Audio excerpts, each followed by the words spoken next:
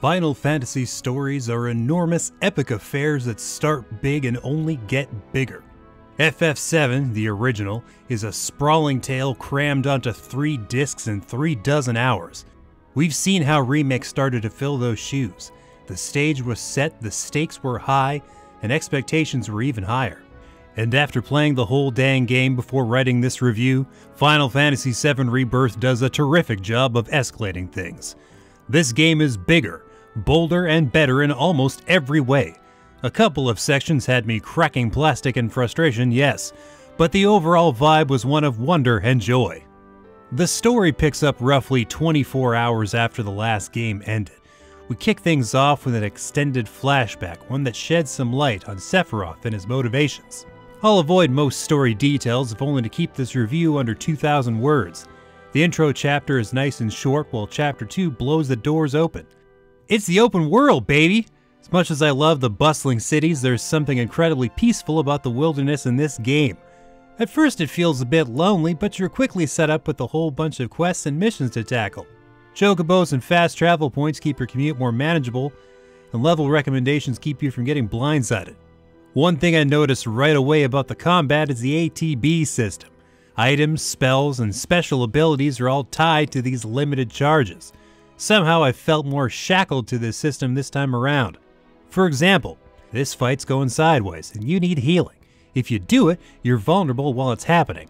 Might get interrupted, might not even happen. If one of your companions does it, you might be waiting a while. Companion ATB charges take ages to build up for one thing and if you don't have them equipped with the right materia, it might not happen at all. Your best bet is rapidly switching characters and making sure everyone is healing equipped at all times. But don't get me wrong, while labor intensive, this system is nonetheless an engaging one. You have tons of materia to experiment with, lots of characters, and lots of moves. Plus, the synergy system encourages further experimentation. They're basically uh, limit break combos. You can unlock a ton of them through basic upgrades, which rules. On the other hand, I never knew exactly when they would unlock in any given battle. This made it hard to plan fights around them in general. I'm sure a system exists that lays out exactly how synergy attacks work, but I never figured it out. Maybe everyone involved needs some ATB charge buildup? I survived several boss fights thanks to a timely synergy attack or two. For the most part, you have access to your whole party. But anytime you don't, it's a chance for someone besides Cloud to take the lead. This gives you access to unique exploration tools, like Barret's machine gunner, Red's Claws. You're also shoved into several bespoke team combos. I appreciated the chance to play around with every character. It kept me from sidelining anyone for too long. The only character I hated controlling was Cait Sith. He's great, okay? A fun, charming character with a lovely narrative arc and some cool moves in combat. But his exploration slash puzzle solving section is hot garbage the whole game slams on the brakes so I can struggle to throw a big metal box into a moving target from an awkward angle. To be clear, this nonsense with Cait Sith is an unusual low point. The minigames in Rebirth are numerous and delightful. While I loved Remake, it didn't have nearly enough wacky distractions for my taste.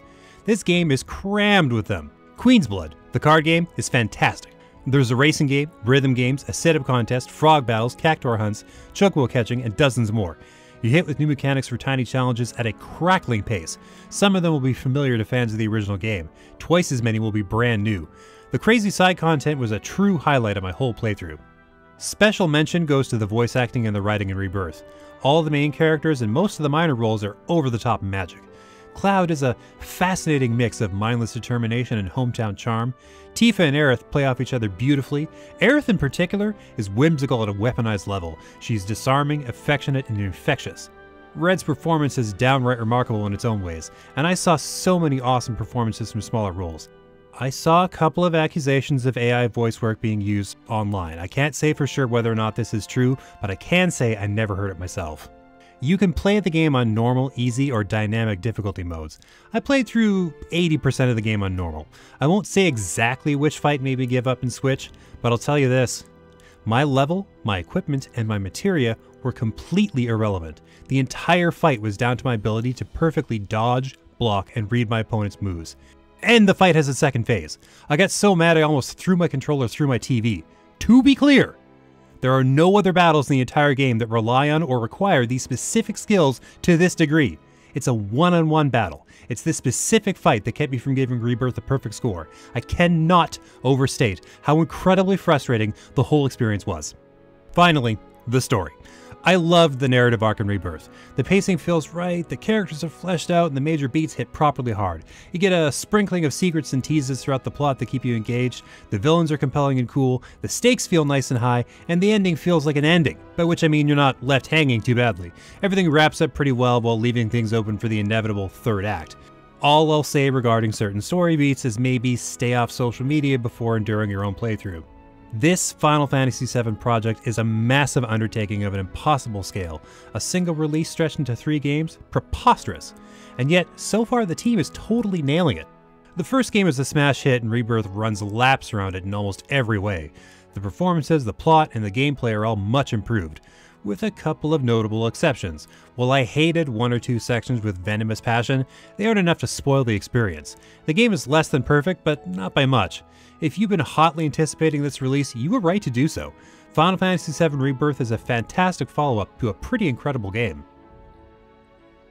Don't forget to like this video, subscribe to our channel, and hit that notification bell to make sure that top quality COGconnected content keeps on coming.